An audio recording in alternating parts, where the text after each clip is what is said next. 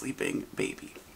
So maybe like me, you need a quiet way to play your tube amps at home, or maybe you have an amp where the sweet spot for tone is just way too blisteringly loud to be useful for whatever setting you need it in.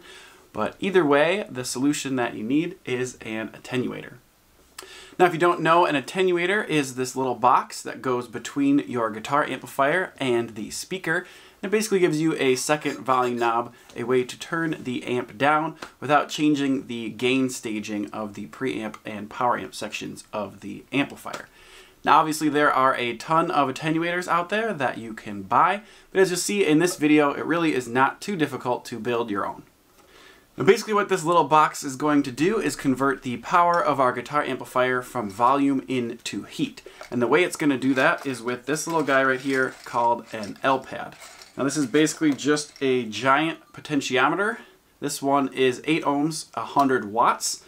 And if you just had an 8 ohm amplifier, all you have to do is literally put this in a box with some input output jacks, and that's all there is to it. In fact, it's so simple, the wiring for that is literally right there on the box. Now I also want to use this attenuator box with my Silvertone Twin 12 amp, which is a 4 ohm amplifier. So I'm going to add an extra resistor and switch to this box so that I can use it with both 4 and 8 ohm amplifiers. So to get started, we need this L-pad, two quarter inch jacks, some wire.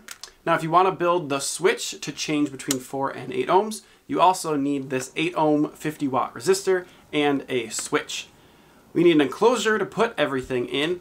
Now you could buy a guitar pedal style enclosure for this and that would work perfectly, but I actually dug around in my basement and found this old data transfer switch. Now this is just a little box that will be perfect to repurpose for this. So to get started, I laid out my components where I wanted them. I really wanted to use the existing holes in this enclosure since they were basically perfect. And on the back, I can replace the three, what I think are PS2 ports with the input and output jacks, as well as the four 8 ohm switch. Then on the front where the selector switch was, I can put the L pad.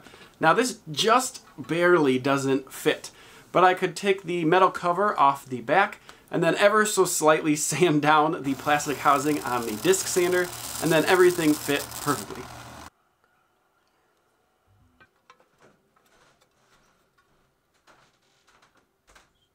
Now the first thing that I did was lay out where the extra orange resistor needed to go on the bottom middle of the box, and then I could drill the two mounting holes, cut the threads in them with a tap, and then I could put some thermal compound on the resistor to help it stay cool and use the enclosure as kind of a heat sink and screw it down to the bottom of the enclosure. Now since all of the components just push through holes from the inside and then get tightened down with nuts from the outside, I could go ahead and basically solder everything up outside of the enclosure and then install the whole thing at once once it was done, with the exception of that orange resistor. Now, meticulous wire management is not something that I can be bothered to do, even considering that all of you will forever see my rat's nest inside this pedal, I just still don't think it's worth the effort. But rest assured, however, all the wiring is correct, I double checked it, and all the solder joints are well made and solid.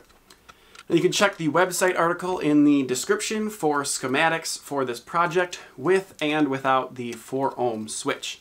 So with everything soldered up, I could install it all in the bottom half of the case and try it out. Time for a disclaimer. If you don't do this right and you don't wire things right, you can cause damage to your amplifier. That's on you though. That's not on me. I don't take responsibility for it at all. I recommend making sure that you have everything wired up correctly, so double, triple check everything. I also made sure to check the input by measuring the resistance from positive to negative on the input jack. Now that read 4 and 8 ohms correctly depending on which way the switch was set, which I then made sure to label with a Sharpie.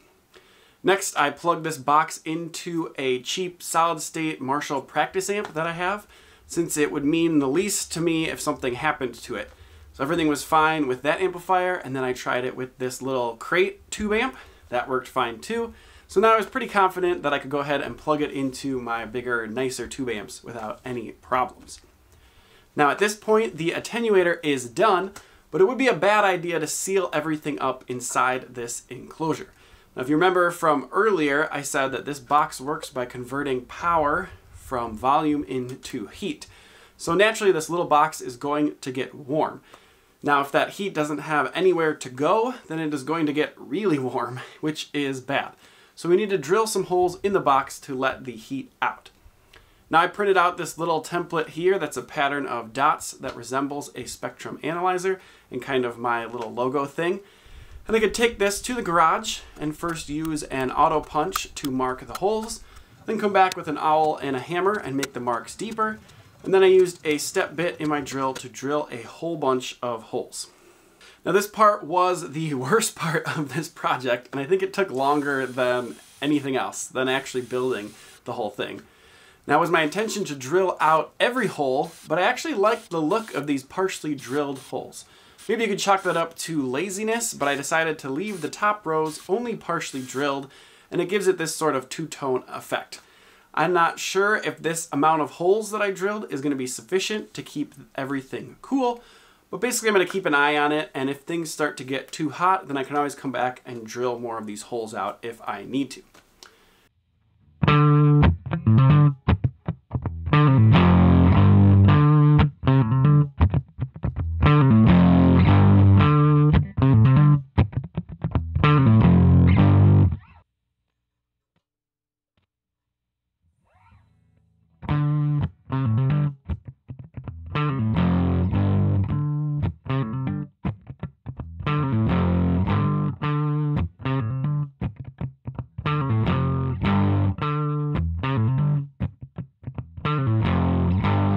Anyways, that is it for this one. Really happy with the way this box came out and it's come in handy already.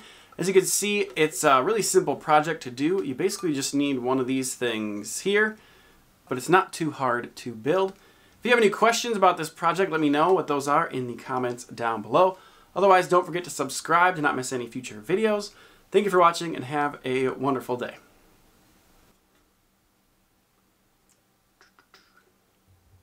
Do do do.